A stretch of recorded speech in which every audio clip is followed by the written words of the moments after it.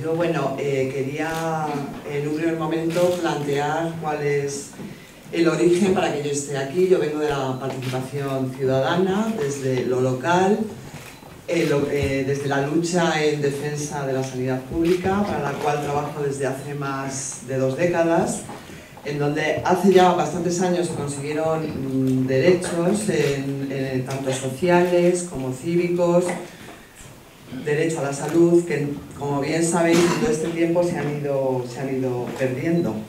Vengo también de un sector muy particular, que es la salud mental, y es desde el barrio donde trabajo, desde lo comunitario, donde he empezado a participar en, las mareas ¿no? y en diferentes eh, movimientos.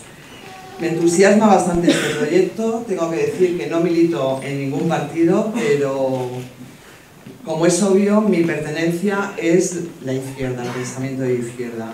Y precisamente eh, apoyo esta candidatura y como decía me entusiasma porque para mí aúna diferentes subjetividades en torno a lo común que nos, que nos habita.